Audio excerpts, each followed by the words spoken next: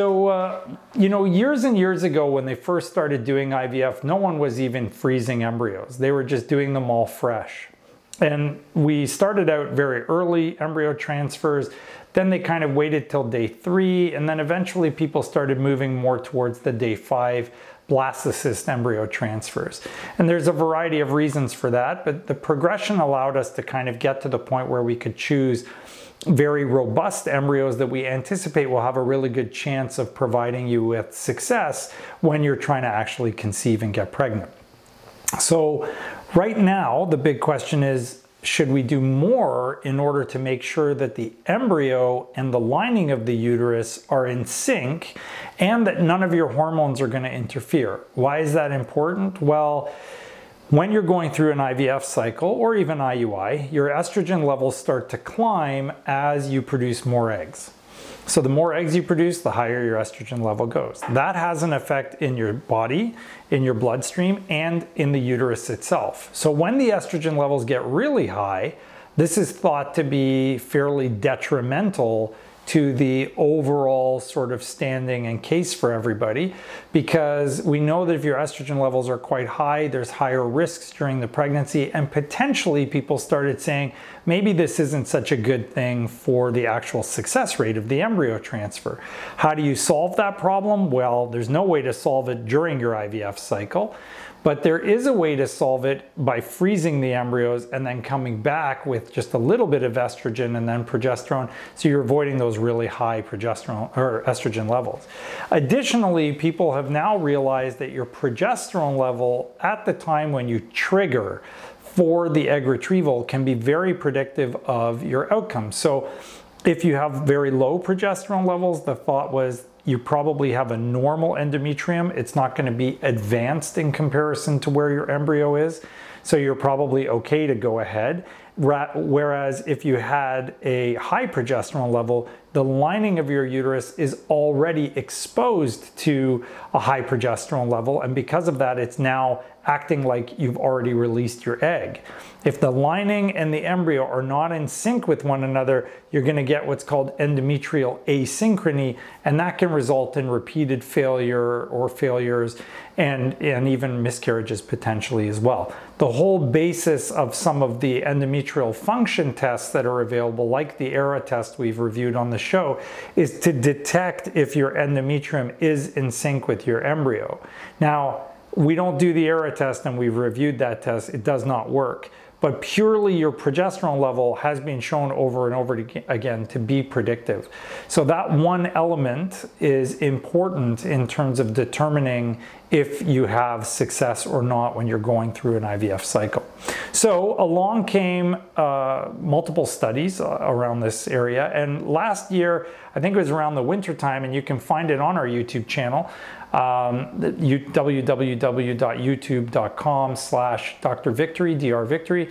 So there you can find our interview with one of our patients, and at the same time, prior to interviewing her, we also reviewed whether frozen or fresh uh, make a difference. So more recently, in fact, it hasn't even been published yet, and I love giving you guys the unpublished stuff because I've got access to it so you get it before anybody else does.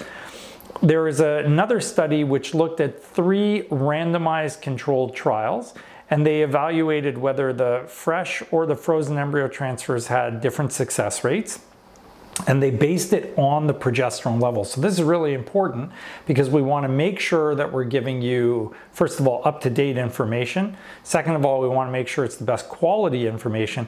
And third, we want to make sure it's kind of comprehensive. It applies to you or you can take it back and apply it to your scenario. So just to kind of delve into this a little bit, randomized controlled trials are the best form of scientific investigation that we have. So if you're going through a randomized controlled trial, essentially what you're doing is taking two groups of patients, one on each side. One half is getting one treatment and the other half is getting another. And often it's in a placebo controlled trial where one half is getting, for example, a medication and the other half is getting a placebo and they don't realize that it's actually not the medication. And you are randomly assigning the patients to those groups. There's all sorts of ways to do it. That's not really critical, but essentially you just don't get to choose, I want to take the med or the placebo. You get assigned to it and you as the patient and us as the physicians or researchers don't actually know which group you're in. So that gives you the absolute best quality evidence because at the end of it all, you can control for all the confounding variables, you can do all the calculations, you can really come up with some robust data to give patients answers to the questions that they want to know. So this particular study went back and looked at the outcomes from three previously run randomized controlled trials. So essentially they took the data from those trials and they reran them uh, to look specifically at the question they were looking for. So the study included a total of 5,137 women who had progesterone testing on the day that they were getting their HCG shot to trigger for release of the eggs. And at the end of it all, they had 2,516 women, 49%, that ended up achieving a live birth. And when they looked at the specifics, 2,612 women actually underwent a frozen embryo transfer and 2,600, sorry, 2,525 had a fresh embryo transfer. So I'm just gonna pull up that study for you. We can have a look at that and uh, um, we can share that together here. Uh, whoops, wrong thing. Okay, application window, and you're right there. Share. Okay, so uh, you should be able to see if you're watching on YouTube or Twitter or Facebook. Those of you on Instagram, I will um, kind of share the data with you, so don't worry, but uh, everybody else can actually see it. So um, I'm gonna kind of go through the information with you guys so that you can see uh, what they actually did. And um, we'll review the actual data from the study right here. Let's just pull this down. Okay, so the first one you want to look at is right here. So this is the baseline characteristics in the study. So essentially what they showed was there was no real significant clinical differences between the groups. So they looked at their age, um, it was on average 28.5, so a pretty young group of patients. Body mass index was very low, 22.6 versus 22.8. So 22.6 was in the frozen group, 22.8 in the fresh. There was a statistically significant difference, but that makes no clinical difference whatsoever. Um, the duration of infertility was the same. Number of patients with previous pregnancy was the same. Um, there was a difference in the number of eggs that they had. It was a slight bit less in the frozen embryo group, but that slight less was 0.5. So that actually, again, does not make any difference. So all of this stuff was pretty realistically the same between all the groups. So reasonably even, um, you know, availability of the patients. So when they looked at the outcomes of the stimulation, that's what you can see here. Let me just kind of position it for you guys. So you can see the duration of ovarian stimulation was the same. So same number of days on average, about nine and a half almost 10 days of stimulation. The dosages were essentially the same between the two groups. The estradiol concentrations were different, but again, probably not clinically different, a little bit higher in the frozen embryo transfer group. And the progesterone concentrations were a tiny bit, again, not clinically significant, higher in the frozen embryo transfer group. Um, the endometrial thickness was the same. They did have about one and a half more eggs in the frozen embryo transfer group on average compared to the frozen embryo or to the fresh embryo group, so 14.2 versus 12.7. Um, and then the number of embryos transferred was almost the same, 1.6 versus 1.7. The rest of the data was essentially the same. There was a slight bit more uh, number of patients with high-grade embryos, or at least one high-grade embryo in the frozen embryo transfer group. But look at how small these differences are. 95.7% of the patients versus 93.5% of the patients. So yes, it's slightly different, but 2.2% is not a huge number when you're looking at 90% overall. So essentially, they wanted to now study this and look at what the outcomes were to see how much of a difference this made. And what they found out was that if you look at the progesterone levels and how predictive they are, they ran something called an ROC curve, which is a an assessment of the sort of sensitivity and specificity of the data that you're looking at. And they found that a cutoff of 1.14 nanograms per mil was the best cutoff for determining whether or not you were going to succeed or not in your IVF cycle. So for those of you, again, watching online and you can see what I've got in the screen share here, there's four graphs up with uh, progesterone concentrations graphed versus the outcomes. The blue line is the um, the frozen embryo transfers, and the red line is the fresh. So pretty much in every single graph, and they looked at conception rate, they looked at clinical pregnancy, they looked at miscarriage, and they looked at live birth rates. At the start, up until you get to around the 1.14 nanograms per mil of progesterone, they're fairly even in terms of the success rates, whether you're fresh or you're frozen. It does overall kind of favor the frozen, but it's definitely, you know, fairly similar. We're not seeing huge differences there for conception rate, clinical pregnancy rate. Miscarriage rate was actually a little bit lower in the frozen embryo transfer group versus the fresh. And live birth rates seem to be persistently sort of higher in the frozen embryo transfer rate. But conception and clinical pregnancy are pretty much the same.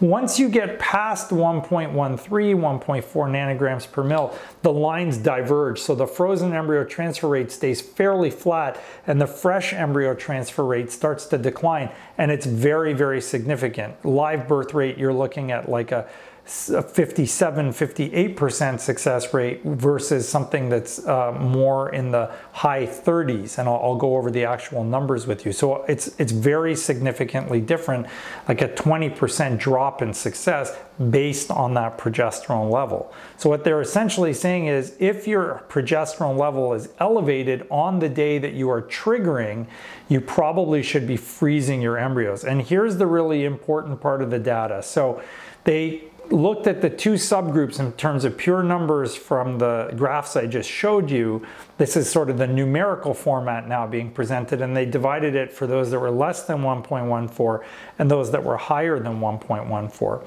So in this side, on, the, on my left of the screen, probably you're right if you're looking at this, um, for those that were less than 1.14 nanograms per mil, conception rate was the same. Clinical pregnancy rate overall was the same, and that's what these p-values mean. If it's not less than 0.05, there's no difference. But when they got to the pregnancy loss rate, you had a 20.1% miscarriage rate in the frozen embryo transfer group, but a 25% rate in the fresh embryo transfer group. So they're saying, and that was very highly significant, that if you're doing a fresh embryo transfer, even when the progesterone is low, you have almost a 20% higher risk, 5% in actual number, but that's a 20% um, increase or 25% increase, there's a 25% increased risk of a miscarriage compared to what you'd get if you did a frozen embryo transfer. When you go to live birth, it was also statistically significantly higher in the frozen embryo transfer, but again, clinically, maybe not that meaningful 53.3% versus 48.1. So if your progesterone's low, your conception rate and your clinical pregnancy rate are going to end up being the same, but your pregnancy loss or miscarriage rate will be about 5% lower um, in absolute numbers or a 20% difference. Uh, and when you looked at live birth rates, it's only about a 5% absolute number difference. Um, and for some people, that's everything, right? So it's still worth considering. Here's the real sort of meat and potatoes of this study it's when you look at the patients where their progesterone level was more than 1.14 on the day of H HCG administration. So in these patients, everything is highly significant. The conception rate, 70.2 in the frozen embryo transfer rate versus only 53%, 53.7 in the fresh embryo transfer group. The clinical pregnancy rate, 61.7 versus only 44% in the uh, fresh embryo transfer group.